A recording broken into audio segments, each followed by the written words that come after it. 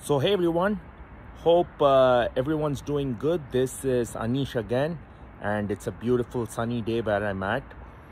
So, I'm done with uh, four weeks of our seven app, seven week challenge, and week one and week two are now in the App Store. Week three is something that I put some security around just because it uses the Google Places API and it's a very pricey service, so I don't want to release that to the public without any funding and then week four is now ready to be on the app store. I turned it in yesterday so it should get approved by tomorrow.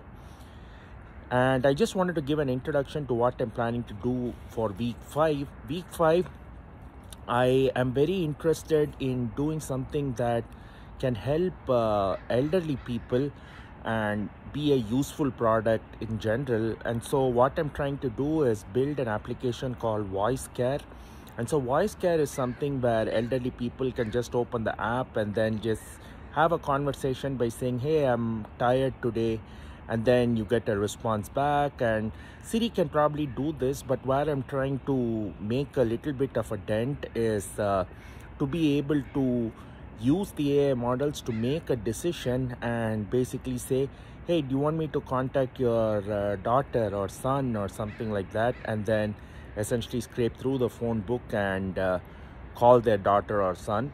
And so this is the idea behind what I'm planning to make. In general, I just wanted to uh, experience a few different products like Transcribe, uh, Polly, in addition to other serverless services and probably use SNS for sending notifications to family members.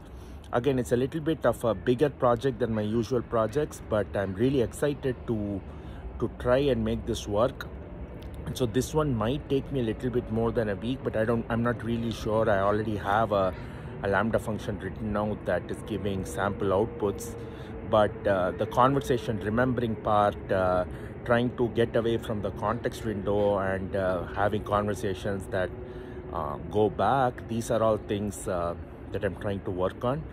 And so with that hopefully everyone's excited for uh, watching my week 5 journey and uh, going over voice care. Again it's going to be a mobile application and uh, we'll see how it goes and uh, again um, thank you for watching and being part of my journey. Have a great day everyone